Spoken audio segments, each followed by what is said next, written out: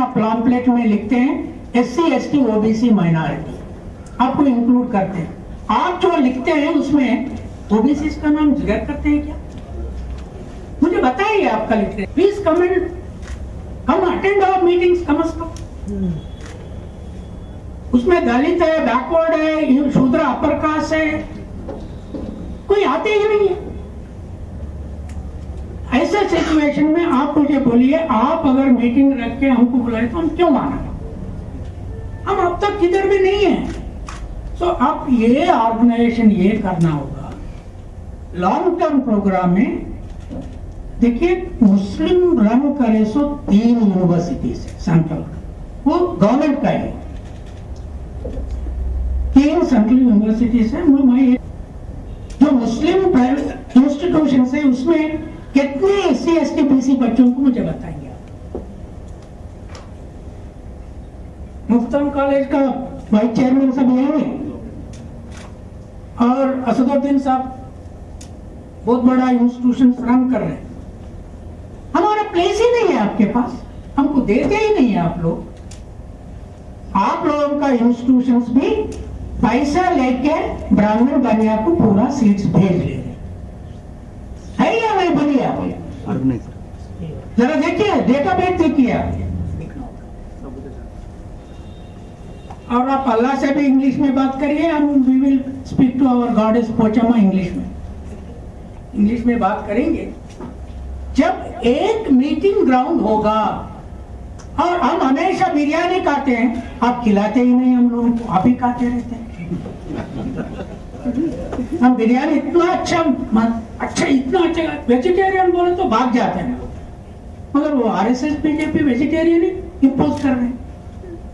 इसीलिए long term का जो है एजुकेशन इज़ ओनली सुन आप हैदराबाद में एक इंस्टीट्यूशन ओपन करो। S C S T OBC बच्चों को, बच्चियों को वहाँ प्लेस दे दीजिए। लास्ट टाइम आपसे मुलाकात हुई थी लखनऊ में। कि ठीक है आरएसएस जिम्मेदार है बीजेपी जिम्मेदार है कांग्रेस भी एक पार्ट है उसका रोल है मुसलमानों को आइसोलेट करने। मगर अब कर्नाटका के इलेक्शन है आने वाले हैं कर्नाटका में आपके रिप्रेजेंटेटिव है वहाँ पे पाँच मुस्लिम पार्टीज़ इलेक्शन लड़ने वाली है। जमत उलमा का क्या रोल होगा क्योंकि ये पूरे पाँच Muslim parties finance by BJP है। के पूरे Muslim parties finance by BJP है और उनका एक ही एम है कि मुसलमानों के वोटों को स्प्लिट करना। और ये, उसमें क्या रोल रहेगा जमत उलमा का? क्योंकि देवगौड़ा के साथ भी बीएसपी का अलायंस कर रहे हैं।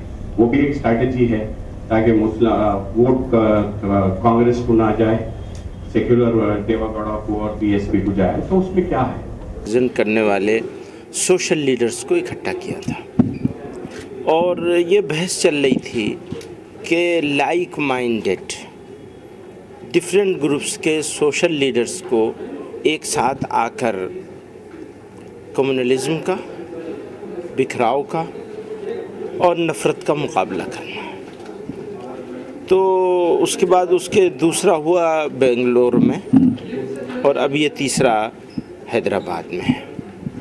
उसूली तौर पर यह फैसला हुआ है कि मज़दूरों, किसानों, आदिवासियों, दलितों, इस तरह के जो बिछड़े समाज के लोग हैं, जैसे लोग हैं तो इस तरह के सब लोगों को इकट्ठा हो करके अपनी लड़ाई लड़नी चाहिए और पॉलिटिक्स से ज़्यादा ज़रूरी है सोशल लेवल पर हमें एक दूसरे के साथ खड़े होना। कल्चर की बात नहीं हो रही है, ज़बान की बात हो रही है कि क्योंकि हम अपनी बात नहीं समझा पा रहे हैं और उनकी बात नहीं समझ पा रहे हैं, और सबको एक जैसा ट्रीट कर रहे हैं मुसलमान अरसे से तो मुसलमानों को भी अपना रवैया बदलना होगा।